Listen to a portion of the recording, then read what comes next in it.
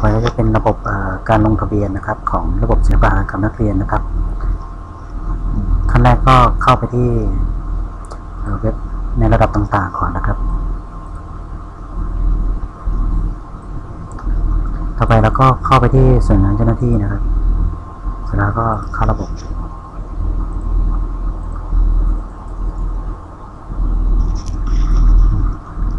จากนั้นเนี่ย เข้าไปที่ระดับเขตการศึกษานะครับ จากนั้นไปที่การจัดการทั่วไประดับเขต แล้วก็เข้อมูลผู้เข้าชมงานนะครับ จากนั้นก็เพิ่มผู้เข้าชมงานนะครับ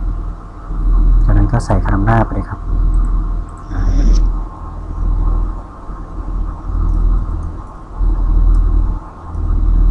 จากนั้นก็ใส่ที่อยู่นะครับ แล้วก็ใส่จังหวัด ส่เบอร์โทรนะอีเมลเท่านี้นะครับหลังจากกดบันทึกปุ๊บเราจะทำการเจเนเรตแบบฟอร์มจะเข้าบูธกิจกรรมให้เลยนะครับเป็นมีได้ที่ประโคดอัตโนมัตินะครับ พร้อมชื่อนะครับ แล้วก็บูธกิจกรรมมีอะไรบ้างนะครับ